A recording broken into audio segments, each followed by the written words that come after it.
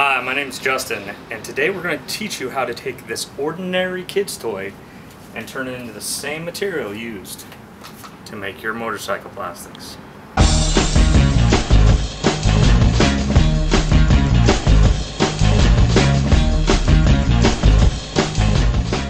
Okay, so your supplies list is basic Legos made of the ABS plastic, same of any skins for any motorcycle.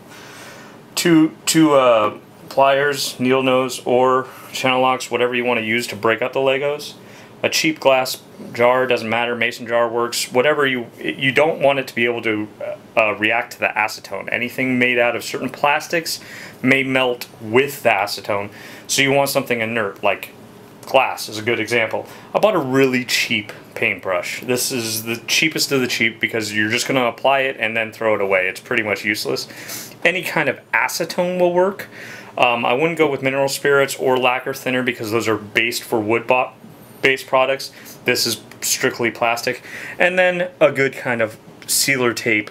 Um, I, this is particularly frog tape because it holds in Bondo bodywork very easily and stays true to the form very easily.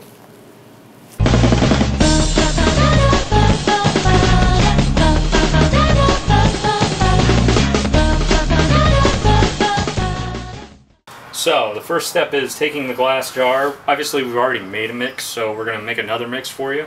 Um, we're going to break apart the Lego, Duplo actually. Uh, regular Legos you probably don't need to break as much, but I mean, who really needs a, a, a, Duplo, right? I mean, if you're beyond six, come on, think about it. Anyways, break it into small pieces, as small as you can get them. Nah. They don't always cooperate. You're going to need some strength in this. This is a good sized chunk right here. And we're going to keep breaking it up and uh, show you what to do after. Doesn't always cooperate. Something like that size is perfect.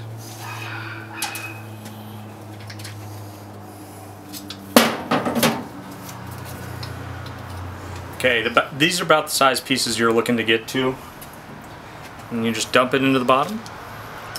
Try to make an even coat in the bottom. Give it a good whack if you don't, it's not cooperating.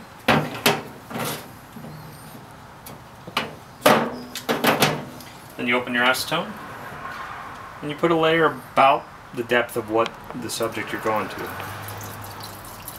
or the pieces. You might need to move it around a little bit. Don't try to agitate it too much because it'll form bubbles inside it. I'm going to obviously have to paint it back, push it back with a paintbrush, but that's about the depth you're looking to get. Then it's a waiting game.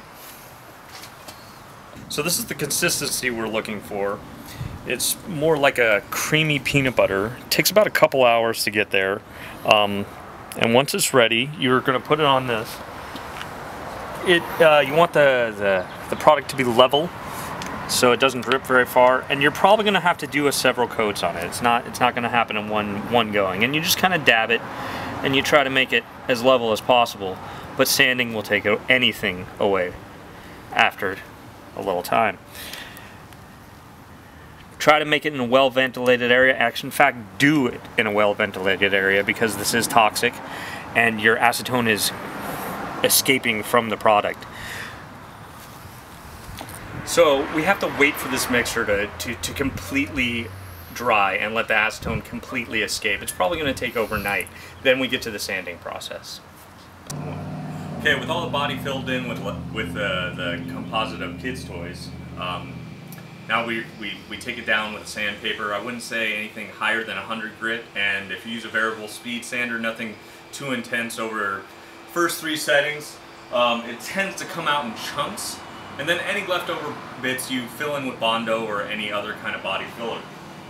Then after that we applied some primer and a little bit of gloss because I'm doing a custom paint. But as you can see, it's just as strong as the original piece, just using the kid's toy.